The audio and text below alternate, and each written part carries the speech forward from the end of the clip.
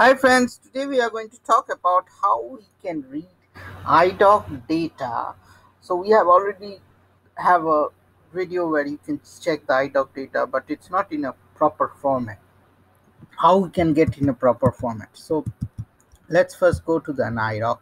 So here if you notice the iDoc gets stored in this format. So but when we try to fetch the data, it's raw data if we need to get in this format so let me show you what i'm talking about.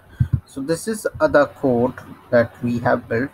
Okay so here you can see i'll just activate this code and we'll execute okay?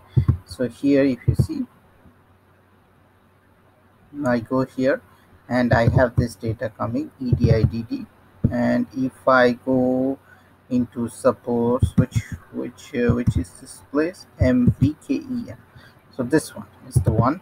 So if i double click on this and if i go into the data so if you notice the data is raw here. So it comes up like this. It's not in this tabular format. How can i get it in a tabular format? In order to get it in the tabular format if you notice i have written the code. So first every so if you notice here if i close this these are all the segments is like a structure. So you can declare like this. So if you go into my code i have declared it as a structure. So if you see this is a structure which i have defined.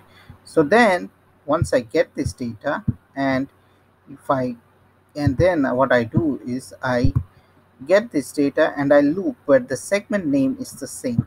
So if the segment name is same then only we just copy this data. Now before if you notice here the s data is is not readable at all because you have to do substring and all those things it's really difficult.